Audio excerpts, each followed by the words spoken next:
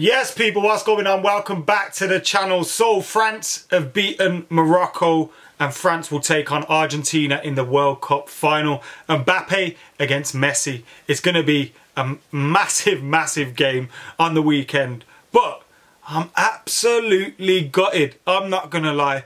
I was all aboard the Morocco train, hoping Morocco would get to the final, cause an upset and win the World Cup. And it isn't going to happen. They have been beaten on the night 2-0 and 2-0 probably flatters France because whilst they did get that early goal through Theo Fernandez, um, uh, Hernandez rather, um, Morocco were excellent. Went close on a number of occasions. Bicycle kick just before half time. Couple of chances in the second half. One where they should have pulled the trigger and didn't. And you're just screaming out there at your TV, please shoot. He doesn't shoot and the chance goes begging. Um, Morocco had their chances there today to at least make it 1-1 when it was 1-0, despite going behind to that Hernandez goal. And despite defending poorly in the first half, Morocco in this World Cup campaign have been absolutely magnificent in terms of their defending, in terms of, you know, really digging into games and making it difficult for teams to score goals. When you look at their record in the World Cup, you know, no goals conceded against Croatia, Belgium. They conceded one against Canada. No goals conceded against Spain. No goals conceded against Portugal. They came into it flying. They played some really big teams, not really conceded. And to concede after five minutes, really, really disappointing, especially when you look at the way they play. Um, and if they could have kept it nil-nil for as long as possible, you know, you never know what could happen. France get a little bit more nervy, you know, to start to, you know, maybe make a few mistakes. And who knows, Morocco could have come the winners in this. But as it is, um, you know, France win the game 2-0. Goals for them from Hernandez.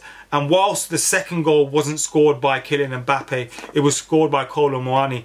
Um, Kylian Mbappe's footwork and trickery to get the deflection which brought it into his teammates' path to score the goal was absolutely fantastic. And that was him getting a knock in the in the game as well and looking like he was hobbling on a few occasions. So France will be worried about that. Ahead of that game against Argentina he's never going to miss a World Cup final though. An opportunity to win his second World Cup. How old is he? 22 or something ridiculous like that?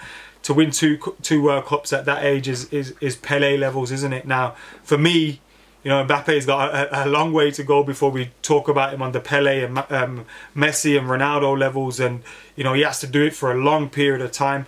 The World Cup is important to many people, though. For me, I don't consider it to be the, you know, the, the utmost top you know, for me, the Champions League is a more difficult competition to win. But when you look at the amount of people that watched the World Cup, the amount of people that are encapsulated by it, you know, it's the biggest stage. And to do it at that point where maybe, you know, the most pressures on people when you've got the whole nation relying on you is incredible. And if he comes away with two World Cups at the weekend, um, it's going to be madness. If Messi comes away with his first World Cup at the weekend, it's going to be madness. But I cannot lie. I am so disappointed. My World Cup's over because I wanted Morocco to win the damn thing. And you've got to take your hats off to them, their coach. They were absolutely incredible. Hats off um, to what's it, uh, Regragui. Sorry if I've said his name wrong. Um, absolutely incredible. Today they had Aguerd coming off before the game even started. You know, he was an important player for them. They had Cheddira who was suspended. Um, they had players out, you know, left, right and centre with injuries coming off during the game, having to be subbed at half time. Um, they had their issues um, in there uh, today. Mazraoui had to come off. Um, big player for them. You know, after the game against Portugal, they were all hanging in there. They were all digging in there, fighting for each other. Um, you know, picking up injuries, picking up knocks, picking up red cards as we saw. Um, and they just about had a team stuck together. And it wouldn't surprise me if, you know, Saïss went off as well. It wouldn't surprise me if the likes of um, Aguerd, who, who came off, you know, before the game started uh, from the starting lineup, we're just telling the manager, saying with Saïss, yeah, I'm fine, I can play. And then when it comes to the game and you, you, you're coming up against the likes of Mbappe and Giroud and Griezmann, who's been excellent, obviously you get found out and your injuries turn up, don't they? So the manager had to deal with that as well. Um, I thought the Morocco fans have been the best fans at the tournament. I think Argentina fans have been incredible as well. Um, but for me, the Morocco fans have been, been, been, the best fans of the tournament. And I think Morocco has been the team of the tournament. This is what the World Cup's about. Their fans, the team spirit that they have, the unity that they have, you know, being able to beat some of the teams that they did along the way to the semi-finals. Now they've got an opportunity to potentially finish third if they can beat Croatia, who put in a lot um, in their last game against Argentina. So Morocco, you know, for me, team of the tournament. They stole the show.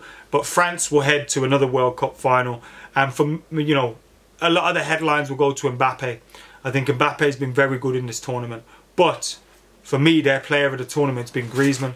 Griezmann has been absolutely fantastic. Um, you know, in in terms of his defensive ability, the way he works hard for the team. Um, you know, going from an attacker to to, to, to, to a midfielder almost, um, and putting in the the hard yards and making the foundations there for the likes of Kylian Mbappe and Dembele and Cole to attack. I think Griezmann has been absolutely fantastic um, for them. And I know Messi and Mbappe will get all the talks and one of them might get the team of the tournament, uh, the player of the tournament, sorry. But if France were to win this World Cup, you know, Griezmann's, uh, for me, could possibly be the player of the tournament. Um, but hats off, as I said, Morocco, incredible. Al Nesyri, what about him? Ziyech stepping up for his country, Boufal, Mazraoui, Amrabat as well. I'm sure there'll be a whole host of clubs lining up to sign some of these players. Um, they've done their country proud. They've done their continent proud. They've done the Arab world proud. Um, you know, an African team has got to the semi-finals um, in this tournament and they're representing so many different groups of people and it's absolutely fantastic to see my team of the tournament for sure. Let us know who your team of the tournament is in the comments below. Um, obviously France Argentina in the final. Is it Messi's moment or is Mbappe gonna make it two World Cups for him? From a United perspective as well we've got Rafael Varane against Lisandro Martinez. Oh man. Martinez probably going to start on the bench because Scaloni's an idiot. um, Varane against Martinez. Let's hope they don't fall out. We've finally found a defensive partnership, and now they go head to head in a World Cup. Hopefully, you know, there's no dramas between them two, um, because they are a partnership we need to keep together. Varane could be close. How many World Cups? Two World Cups, four champion. How many Champions League? Four, five lost count of the amount of trophies. What a ridiculous record he's got.